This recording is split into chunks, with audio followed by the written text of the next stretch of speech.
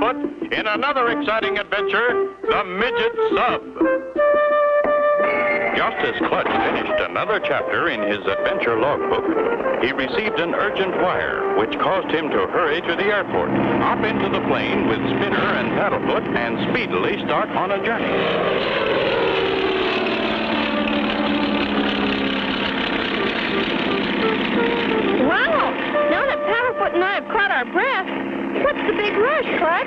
Sorry I couldn't take time to tell you, Spinner. But here's the story. You've heard of the new atomic submarines. Yeah? Well, a new super secret midget atomic submarine has been developed. It's only 25 feet long, but it can go all around the world underwater and needs a crew of only two men. Wow! That midget sub is now on the ocean bottom, about 10 miles off the island of Transform. It was being tested by the people who built it, and it either strayed off its course or was forced off. That's our mission, to raise the sub and get it back in American waters. Can it move at all? That's it, Spinner. The crew radioed that its atomic engine has stopped. They tried everything but couldn't restart it. They were ordered to abandon the sub, and that's the last thing that anyone has heard of it. Golly! And the sub was left right there? Official boats can't go near it. That's why we're going in Joe Papianiga's boat, the Guppy. Oh, boy! We gotta go on a boat! Wow! Wow! That sub uh, has so many new secret devices, we've got to get there before any other country finds out about it.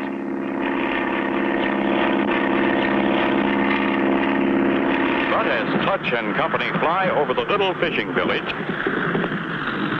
and land on the outskirts of town, two unfriendly looking figures are watching them. Right on time. Here's Joe Papianigas now. Lunch, you got the message. You bet, Joe. It said urgent, so we didn't waste any time. You think I can drive the boat, Mr. Papianagus? We'll see, Spinner. We'll see. I take you now to the Guppy. As Clutch and company travel toward the docks, a shiny black limousine with two men is headed toward them. I'd know that plane anywhere. It's Clutch Cargo's, all right. I saw it land. If Cargo's on the job, it's going to be a lot tougher. Don't worry, Blackie. We'll take care of him. Maybe we'll do something about it right now. Joe Papianicus went after them in his truck. I seen him leave. Yeah, we ought to see him pretty soon. We'll make Cargo wish he'd never come. I was told this submarine has an atomic engine and rocket devices that are so new, they are hardly even thought of yet. Wow! If we don't get to it first, some unfriendly country will tow it away and learn our secrets. We'll do our best to keep that from happening. Step on it, Joe. Look ahead, Blackie. Ain't that Papianicus truck coming? It sure is. Let him have. Look out, Joe. Somebody's sort of crazy. They're headed right for us! No place to turn out. They're going to hit us. Be sure to tune in for the next exciting episode with Clutch Cargo.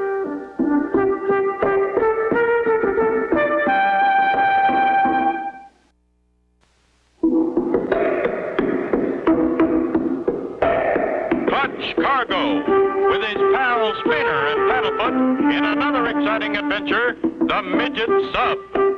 You remember last time Clutch and Company had flown to meet Joe Papianicus. Their mission, to find a top secret midget atomic sub, which was lying on the ocean floor after the crew had been forced to abandon her. They had started for the Guppy, Joe's boat. Suddenly, Look out, Joe. Somebody's driving sort of crazy like. They're headed right for us! No place to turn out. They're going to hit us.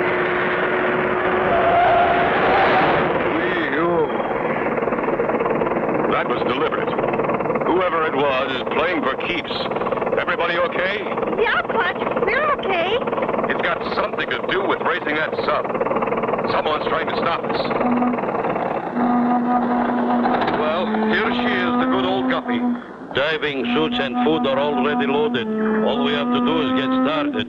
Better get aboard right away. We can't waste a minute. Meanwhile, Shark and Blackie are also boarding a boat in a bay a few miles from the fishing village. Get a move on, Blackie. We've got work to do. The government of Transportania said they'd pay us plenty for that sub. Yeah, we're in the big leagues now, Shark.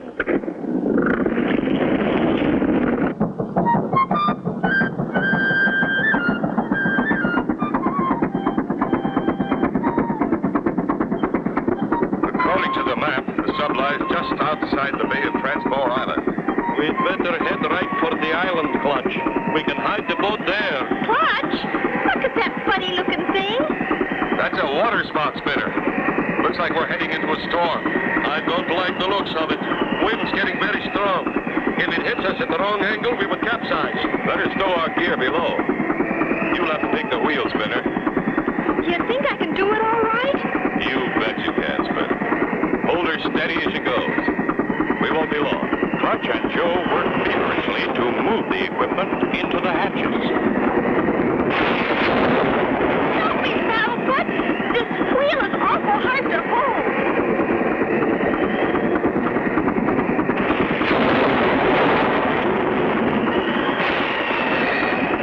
Suddenly, as fast as the storm hit, all is calm. Hooray, we made it. Ahoy! Straight ahead! That's Transport Island, all right. It won't be long now. Look, Clutch. Somebody's following us. Full speed ahead, Joe. Pull around the island to one of your hiding places. Let's see if they follow. We'll give you all the speed that we have, Clutch. Come on, old girl. We're not catching up anymore.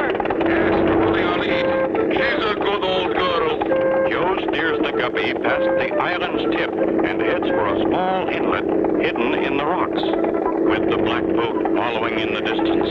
There's a place right straight ahead between those rocks. Let's duck in there fast. We've got to shake that boat that's following us. Here we go.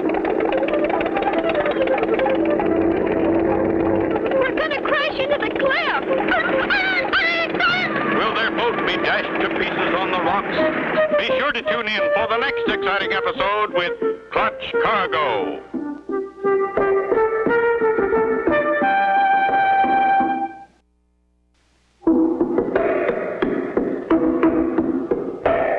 Clutch Cargo, with his pal Spinner and Paddlefoot in another exciting adventure, the Midget Sub. You remember last time, Clutch and Company with Joe Papianagas started out aboard the Guppy to find the Midget Sub. They ran into a bad storm, but worst of all, Blackie and Shark were following them. Let's duck in there fast. We've got to shake that boat that's following us. Here we go. We're gonna crash into the cliff. There is just room, see? Wow, it sure is well hidden. Many years ago, pirates used these inlets for hiding too. Hey, do you think maybe there's still some pirate gold hidden there? You never know, Spinner. Could be. Right now, I'm more interested in that black boat. There. We're in. Now I'll turn off the engine. We'll wait and see. We're completely hidden here. I'm going up on top of that rock and watch. Be careful, Clutch. Don't let them see you. They might have a gun. He can take care of himself. I think. While Clutch makes his way to the top of the rock, Shark and Blackie are having a few troubles. They've given us the slip, Blackie. Get up here and help me look. Oh, I still feel sick from that storm we went through. I can't stand those big waves. Be quiet and help me look. If we don't get to that sub first, we've lost all that money. We've got to find them. Meanwhile, Clutch has reached the top of the rock and is watching the black boat as it passes. They're looking for something. I'm sure it's us. I'd better get back. Here comes Clutch. What did you find out, my friend? Whoever it is is looking for us, all right. They've gone on around the island. We'll back out of here and head for the beach. We can hide our equipment until we're ready to use it. It's too dangerous to start looking for the sub now with that other boat following us. So we'll leave our diving equipment and head back for the village. That way, if they see us, they'll think we've given up. Golly, Clutch, this is almost like cops and robbers. It's a bigger game than that, Spinner.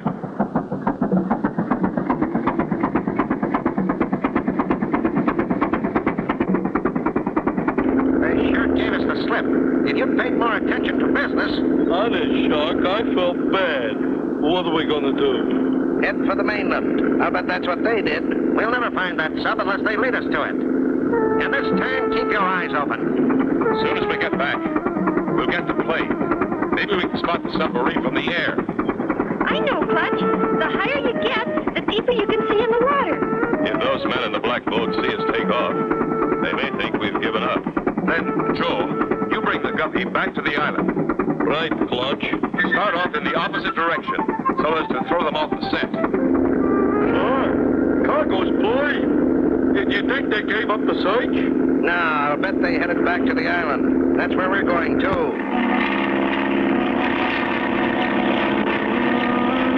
There she is, Clutch. I think I can see the sub. That's it, all right. We'll land on the island and get our diving gear. Clutch, look! Something else. A raft floating near the island. And there's a man on it. And golly, he's not moving a muscle. Watch out, Clutch and Spinner. This may be a trick. Be sure to tune in for the next exciting episode with Clutch Cargo.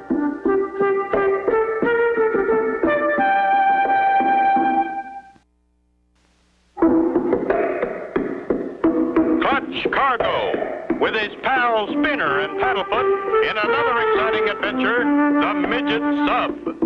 You remember last time, Clutch and Company with Joe Papianicus hid the boat among the rocks to avoid Blackie and Shark, two ruthless thugs. Clutch and Spinner had returned to the island when... There she is, Clutch. I think I can see the sub. That's it, all right. Clutch, look! Something else. A raft floating near the island. And there's a man on it.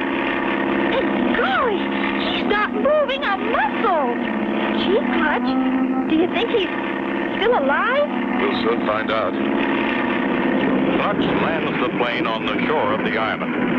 That raft's drifted almost up on the beach, Spinner. Uh, we'll be able to get to it in a hurry. Hope we're in time to save this poor fellow. Oh, I hope he's all right. He's still breathing. Wait till I turn him over. Well, I'll be a monkey's uncle. It's Swampy. Well, why, Clutch Boy! Fancy meeting you way out here. Swampy. What are you doing on this raft? Heard about that midget atomic sub that had to be abandoned. Heard you'd be here, so I started out in a boat. That storm capsized my boat, and this is how I ended up. But say, terrible thing waking a man out of a sound sleep like that. Liable to stunt his growth. Clutch gets out the diving gear which they had hidden on the island. Get on that frogman suit, Swampy. We've got a long way to go down. Golly, Clutch, wish I could go with you. Not this time, Spinner. It's too dangerous. You and Paddlefoot be our lookout. Turn on this transistor radio and warn us if anyone else starts diving near us. Okay, Clutch, anything to help. Look at Mr. Swampy. you don't look so much like a frog man, Swampy. You look more like a frog. Jump in juniper roots, Clutch. I feel like a sausage packed into a heller casing. Don't say that, Mr. Swampy. You'll make Paddlefoot too hungry. Meanwhile, Joe Papianicus has started back to the island in the Guppy, not realizing that Shark and Blackie, who are also hunting for the sunken midget sub, are heading for the island at full speed. Okay, Swampy. We'll wade in from here and swim out. Put your mouthpiece in and turn on your oxygen as soon as we get in the water. Turn on the transistor radio spinner and listen for our signal when we get underwater. Okay, Clutch, gotcha. As Clutch and Swampy enter the water, Blackie and Shark reach the end of the island, cut their motor, and silently glide along, watching every move. There's Cargo's plane on the beach, and there he goes with another guy into the surf. That midget sub can't be far offshore. What do we do? Get into those frogman suits and follow him. Oh, no. It's that mysterious boat. We gotta warn Clutch. Can you hear me, Swampy? Sure can, Clutch. What'll they think of next? Clutch! Clutch! Those men in the black boat came back. They dove in just about where you went down. They got spear guns and knives, and they're coming after you. This is it, Swampy. They're out to get us. Can Clutch and Swampy win against guns and knives? Be sure to tune in for the next exciting episode with Clutch Cargo.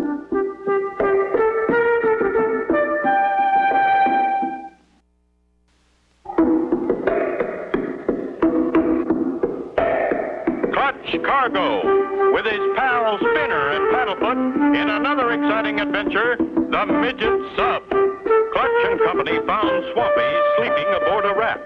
He too was looking for the Midget Sub. Clutch and Swampy swam to the sub just as Blackie and Shark dove from their boat. Clutch! Clutch! Those men in a black boat came back. They dove in just about where you went down. They got spear guns and knives, and they're coming after you. This is it, Swampy. They're out to get us. Clutch and Swampy dive deeper and deeper to the spot where the sub is lying, with Shark and Blackie on the way down too. A pair of ruthless thugs, determined to get the midget atomic sub, and not caring who gets hurt. Keep a sharp lookout for those men, Swampy. They're armed and dangerous. Ah, I can see one of them coming right at me. That's a giant sea man, Swampy.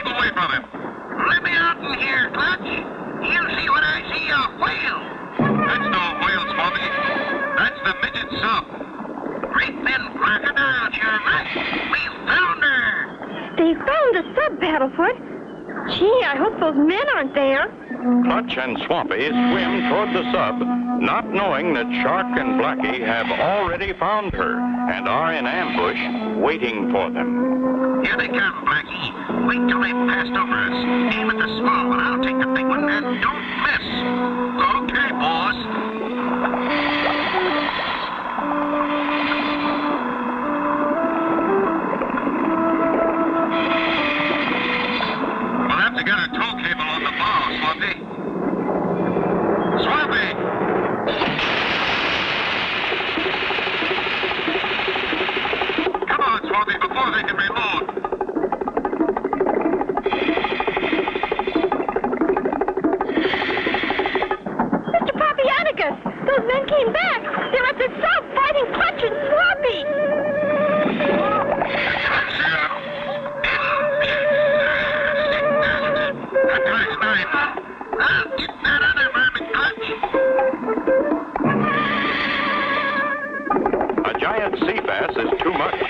Blackie departs in haste.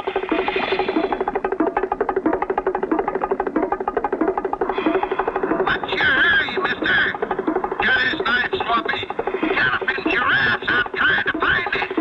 They did it. They captured the bad guys. Hooray! I've got the tow line hitched to the bow of the sub. Go ahead, Joe. Slowly, the midget submarine is pulled away from her resting place on the ocean floor and starts off on the voyage to her home port, while two sadder and wiser bad men are forced to paddle back to the mainland on Swampy's raft. There she is, Mr. Hunt, safe and sound, including all her secrets. I can't thank you all enough. You were wonderful. And you'll be glad to hear the missing crew is okay. They got picked up by a fishing boat that had no radio. Now here's a check for $5,000 for the job you did. No, Mr. Hunt. Thanks anyway. All we want is $15 for Swampy. For me? What for? Buy another raft to send you home on. Another raft? Hop in, horn toads. I know. Uh... Oh, Clutch, you're kidding. And so ends the story of Clutch Cargo with his pals Spinner and Paddlefoot and the Midget Sub. Be sure to tune in for the next exciting adventure with Clutch Cargo.